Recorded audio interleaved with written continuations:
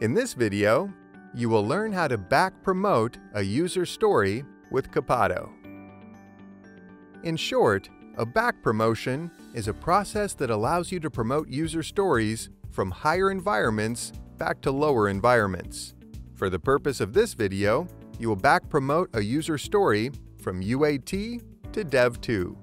First, locate the Pipelines tab and then open your pipeline record.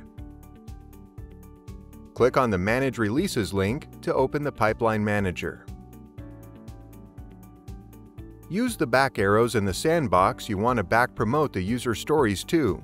In this example, we are back promoting a user story to the Dev2 environment. In this page, you can select a test level and use the search box to easily locate the user stories you want to back promote.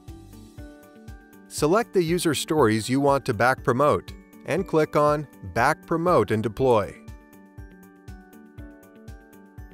Copado will create the back promotion and deployment records and will execute the deployment.